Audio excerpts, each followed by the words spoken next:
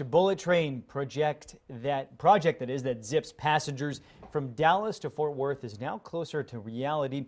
Minutes ago, the Dallas Fort Worth Regional Transportation Council unveiled plans to explore Hyperloop technology and they have an eye on Austin in the future. KXAN's Gigi Barnett is live for us in the newsroom. So Gigi, this is just one of two projects the state is thinking about with this kind of technology.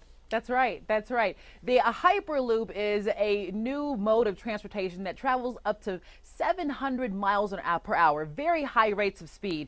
That is a six minute commute between Dallas and Fort Worth. Imagine that.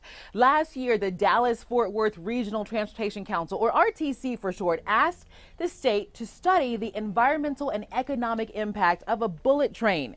The RTC will also look at a second project that we mentioned. It goes between Fort Worth to Laredo and could include stops in Waco, San Antonio, and Austin. Houston is also on the list to eventually get a stop if it's approved.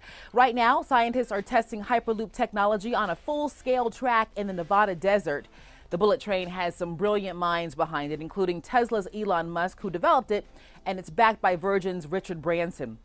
Right now, it's not clear how much the project would cost or who would fit the foot the bill for it. And after today's announcement, the next step would be that the RTC would put in a request for consultant teams to complete the uh, environmental and the economic impact study. If this bullet train, train is approved, Texas would be the first one in the nation to have it.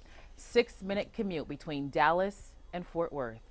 You as, would love that. It would, as opposed to I think we've heard anywhere from like 30 minutes. John, you said to like hours. Uber An hour told me it can take hours with traffic between the two of them. Ah, okay, Gigi, thank you. There is also another Hyperloop plan being studied. The Texas Central Railway wants to build a bullet train from Dallas to Houston.